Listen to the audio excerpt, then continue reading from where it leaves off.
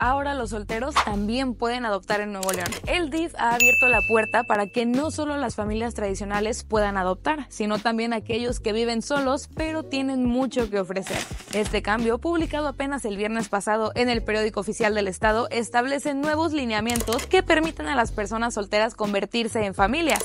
Para ser parte de este programa, lo principal es cumplir con algunos requisitos básicos. Primero, debes tener más de 25 años. Segundo, es necesario asistir a capacitaciones y talleres especializados para brindar un cuidado adecuado. Y tercero, aprobar las evaluaciones que te realizará un equipo multidisciplinario del DIF. Pero ojo, no es solo cuestión de querer, también necesitas reunir algunos documentos, entre ellos copia de tu identificación, comprobante de domicilio, constancia de ingresos y hasta tres cartas de recomendación. Además, realizarán una visita a tu domicilio para asegurarse de que el entorno es adecuado. Todo esto para garantizar el bienestar de los menores que estarán bajo tu cuidado. Si te interesa saber más y piensas que puedes darle un espacio seguro a un niño, es el momento perfecto.